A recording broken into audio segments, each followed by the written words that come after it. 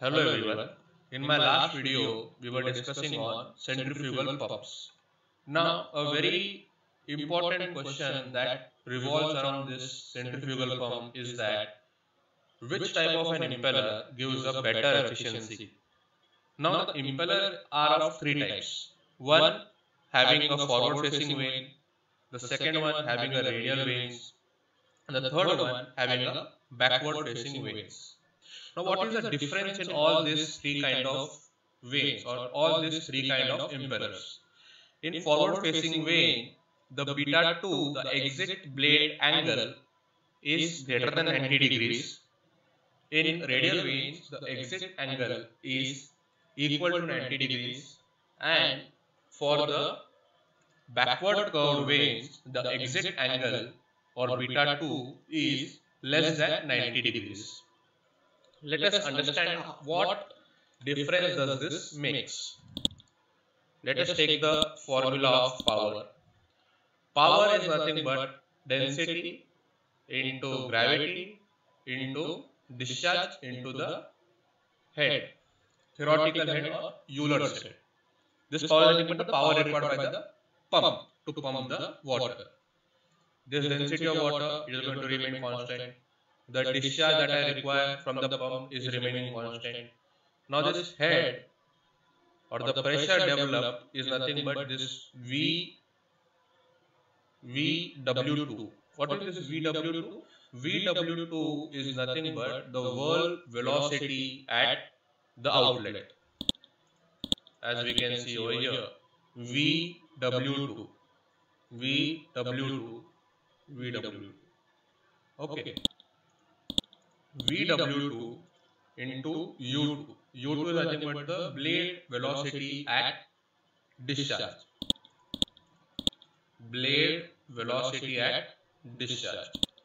For better understanding, see my earlier video on velocity triangle. Now, this gravity and this gravity gets cancelled and we are having this formula. Density discharge VW2 U2. Now this VW2 can be can be further divided or can be further step down to U2 minus VF2 into cot of beta 2. Now see cot of beta 2. Now beta 2 I have three options right 90 degrees 90 degrees greater than 90 degrees, less than 90 degree. Correct? Now, cot of beta 2, if it is less than 90 degrees, it becomes positive. If cot of beta 2 is greater, if beta 2 is greater than 90 degree, the cot of beta 2 becomes negative. If beta 2 is 90 degree, cot of beta 2 becomes 0. So if the cot of beta 2 becomes negative, this negative, this negative becomes positive and this VW2 becomes a bigger number. and power consumption becomes more. And if this beta 2 is less than 90, cot beta 2 becomes a positive number, this positive number and minus this U2 gives you a smaller VW2, thus a smaller power consumption. So thus for a backward curved vane, the power consumption is always less and for the forward curved vane the power consumption is more.